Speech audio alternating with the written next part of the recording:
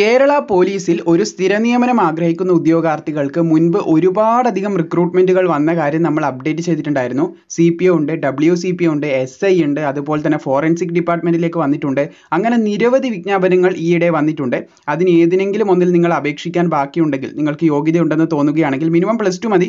ഏതെങ്കിലും അപേക്ഷിക്കാൻ ബാക്കിയുണ്ടെങ്കിൽ എല്ലാത്തിന്റെയും വീഡിയോ ലിങ്ക് ഒരു പ്ലേലിസ്റ്റ് ആക്കിയിട്ട് താഴെ ഡിസ്ക്രിപ്ഷനിൽ കൊടുത്തിട്ടുണ്ട്.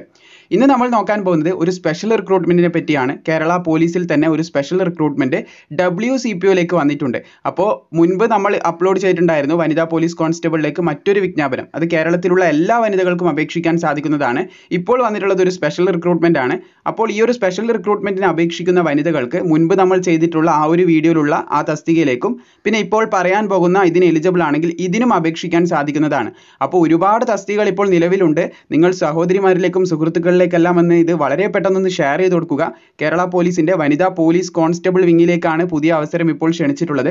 എന്തായാലും ഇപ്പോൾ പുതിയതായിട്ട് വന്നിട്ടുള്ള ഈ റിക്രൂട്ട്മെന്റിന്റെ മുഴുവൻ വിവരങ്ങളും നമുക്ക് എന്താണെന്ന് നോക്കാം. കേരള പോലീസിൽ ഒരു സ്ഥിര നിയമനം ആഗ്രഹിക്കുന്ന വനിതകൾക്കാണ് പുതിയ വിജ്ഞാപനം ഇപ്പോൾ ഓൺലൈനായിട്ട് ക്ഷണിച്ചിട്ടുള്ളത്. കേവലം ഒന്നല്ല രണ്ട് നോട്ടിഫിക്കേഷൻസ് വന്നിട്ടുണ്ട്. അപ്പം പരമാവധി പെട്ടെന്ന് ഇതിനെല്ലാവർക്കും അപേക്ഷിക്കാൻ സാധിക്കത്തില്ല. എല്ലാവർക്കും അപേക്ഷിക്കാൻ സാധിക്കുന്ന ഒരു പോലീസ് കോൺസ്റ്റബിളിന്റെ വുമന്റെയും അതുപോലെ തന്നെ മെയിൽസിന്റെയും degree plus two P G എല്ലാ വിദ്യാഭ്യാസ യോഗ്യതയുള്ളവർക്കും അപേക്ഷിക്കാൻ പറ്റിയ വിജ്ഞാപനം ഇപ്പോൾ നിലവിലുണ്ട്. പക്ഷേ ഇതിന് അപേക്ഷിക്കാത്ത ആരെങ്കിലും ഉണ്ടെങ്കിൽ ഇതിന് പ്രത്യേകം യോഗ്യതയുള്ളവർ തീർച്ചയായിട്ടും അപേക്ഷിക്കുക. ബാക്കിയുള്ള വീഡിയോ ലിങ്കും കാര്യങ്ങളൊക്കെ ഒരു പ്ലേലിസ്റ്റ് ആയിട്ട് താഴെ ഡിസ്ക്രിപ്ഷനിൽ ലഭിക്കുന്നതായിരിക്കും. എനിവേ ഇപ്പോൾ വന്നിട്ടുള്ള വിജ്ഞാപനം രണ്ട് വിജ്ഞാപനങ്ങളാണ് ക്ഷണിച്ചിട്ടുള്ളത്. രണ്ട് കാറ്റഗറി നമ്പറുകളുണ്ട്. മുപ്പത് പന്ത്രണ്ട് രണ്ടായിരത്തി ഇരുപത്തി മൂന്നിന്റെ ഗസറ്റഡിൽ ഈ തസ്തികയിലേക്ക് അപേക്ഷിക്കേണ്ട അവസാന തീയതി മുപ്പത്തി ഒന്ന് ഒന്ന് രണ്ടായിരത്തി ഇരുപത്തി നാല് വരെ. അതായത് ജാനുവരി മാസം മുപ്പത്തി ഒന്ന് വരെ നിങ്ങൾക്ക് അപേക്ഷിക്കാം. കാറ്റഗറി നമ്പർ എഴുന്നൂറ്റി മുപ്പത്തിരണ്ട് ബാർ രണ്ടായിരത്തി ഇരുപത്തി മൂന്നും അതുപോലെ തന്നെ എഴുന്നൂറ്റി മുപ്പത്തി മൂന്ന് ബാർ രണ്ടായിരത്തി ഇരുപത്തി മൂന്നും അങ്ങനെ രണ്ട് നോട്ടിഫിക്കേഷൻസ് വന്നിട്ടുണ്ട്. ഇതിന് അപ്ലൈ ചെയ്യാനായിട്ടുള്ള മെത്തേഡ് എന്ന് പറയുന്നത് കേരള പി എസ് വെബ്സൈറ്റിൽ നിങ്ങൾ വൺ ടൈം രജിസ്ട്രേഷൻ കംപ്ലീറ്റ് ചെയ്ത ഉദ്യോഗാർത്ഥികളാണെങ്കിൽ ഇനി പറയാൻ പോകുന്ന യോഗ്യത നിങ്ങൾക്കുണ്ടെങ്കിൽ വെറും അഞ്ച് മിനിറ്റിന്റെ ഉള്ളിൽ തന്നെ നിങ്ങൾക്ക് അപേക്ഷ സമർപ്പിക്കാം. പി എസ് സിന്റെ വെബ്സൈറ്റിൽ ലോഗിൻ ചെയ്യുക. എന്നിട്ട് ഈ ഒരു കാറ്റഗറി നമ്പറിലൂടെ നിങ്ങൾക്ക് വളരെ പെട്ടെന്ന് അപേക്ഷിക്കാൻ സാധിക്കുന്നതാണ്. കേരള പോലീസ് ഡിപ്പാർട്ട്മെന്റിലേക്കാണ് പുതിയ വിജ്ഞാപനം ഇപ്പോൾ ക്ഷണിച്ചിട്ടുള്ളത്. ഡബ്ല്യു സി പി ഒ ആണ്. അതായത് woman police constable trainee woman police ബറ്റാലിയനിലേക്കാണ് വിജ്ഞാപനം ക്ഷണിച്ചിട്ടുള്ളത്. ഇതിന് വനിതകൾക്കേ അപേക്ഷിക്കാൻ സാധിക്കത്തുള്ളൂ. പുരുഷന്മാർക്ക് സാധിക്കത്തില്ല. അതുപോലെ അറുപത്താറായിരത്തി എണ്ണൂറ് രൂപ വരെ പരമാവധി ശമ്പളം ലഭിക്കുന്ന ഒരു തസ്തികയാണ്. പിന്നെ ഇതിന്റെ ബാക്കിയുള്ള ഡീറ്റെയിൽസ് നോക്കുകയാണെങ്കിൽ നിങ്ങൾക്ക് കാണാൻ സാധിക്കും. എഴുന്നൂറ്റി മുപ്പത്തിരണ്ട് ബാർ രണ്ടായിരത്തി ഇരുപത്തി മൂന്ന് അത് scheduled caste converted to Christianity അതായത് എസ് സി സി സിക്കാർക്കുള്ള നോട്ടിഫിക്കേഷൻ ആണത്.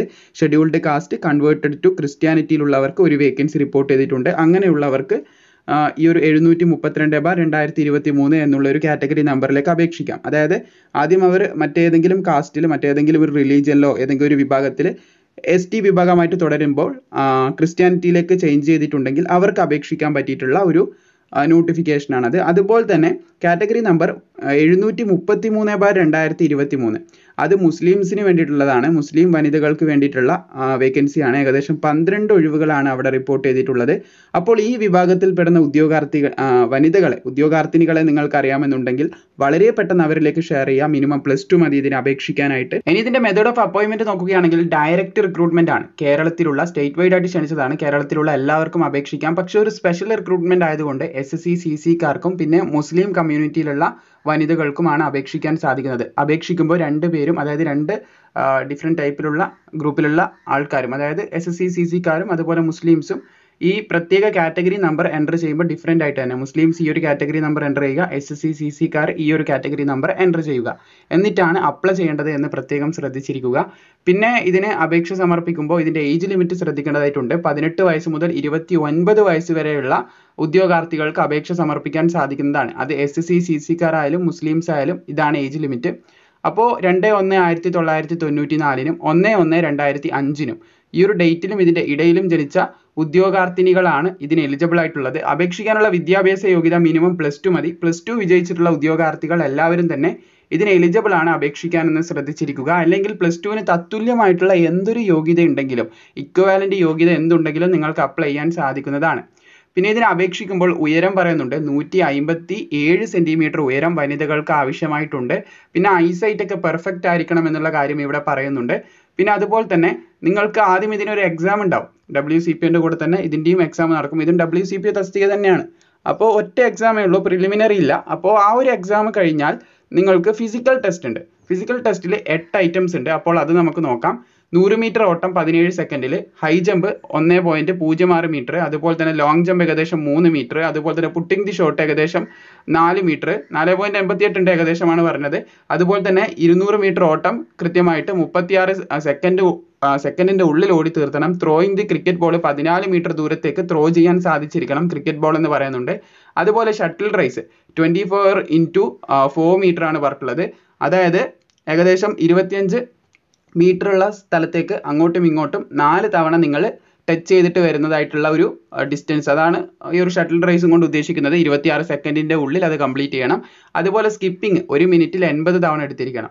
അപ്പോൾ എക്സാം പാസ്സായിട്ട് നിങ്ങൾ ഫിസിക്കലിന് വരുന്ന സമയത്ത് ഈ ഒരു ഫിസിക്കലിൽ നിന്ന് എട്ട് ഐറ്റംസ് ഉണ്ട്. അതിൽ നിന്ന് അഞ്ചെണ്ണം പാസ്സായാൽ മതി. സോ ഇതിൽ നിന്ന് അഞ്ചെണ്ണം പാസ്സായി കഴിഞ്ഞാൽ നിങ്ങൾ മെഡിക്കലിന് വേണ്ടി സെലക്ട് ചെയ്യപ്പെടും. അതായത് ആദ്യം ഒരു പരീക്ഷയുണ്ട് പിന്നെ ഈ ഒരു ഫിസിക്കൽ ടെസ്റ്റ് നിങ്ങൾ അഭിമുഖീകരിക്കേണ്ടതായിട്ടുണ്ട്. ഇതിൽ നിന്ന് അഞ്ചെണ്ണം പാസ്സായാൽ മതി. അഞ്ചെണ്ണം പാസ്സായി കഴിഞ്ഞാൽ മെഡിക്കൽ ഉണ്ട്. പിന്നെ ഫൈനൽ റാങ്ക് ലിസ്റ്റ് ഇടും. അതിൽ നിന്നാണ് നിങ്ങൾക്ക് ജോലി നൽകപ്പെടുന്നത്. സോ ഇത്ര എളുപ്പമായിട്ടാണ് ഇതിന്റെ ഒരു സെലക്ഷൻ വരുന്നത്. പ്രിലിമിനറി ഒന്നും ഇല്ല ഒറ്റ പരീക്ഷയേ ഉള്ളൂ. അതുകൊണ്ട് വളരെ പെട്ടെന്ന് യോഗ്യതയുള്ള സുഹൃത്തുക്കളിലേക്ക് സഹോദരിമാരിലേക്ക് ഷെയർ ചെയ്ത് കൊടുക്കുക. അതുപോലെ വീഡിയോ ഇഷ്ടപ്പെട്ടാൽ തീർച്ചയായും ലൈക്ക് ചെയ്യുക. ഇതുപോലുള്ള കൃത്യമായിട്ടുള്ള അപ്ഡേറ്റുകൾ ലഭിക്കാനായിട്ട് ചാനൽ സബ്സ്ക്രൈബ് ചെയ്താൽ മാത്രം പോരാ. ബെല്ലൈക്കൺ ഓളിലാണെന്നും കൂടി ഉറപ്പുവരുത്തുക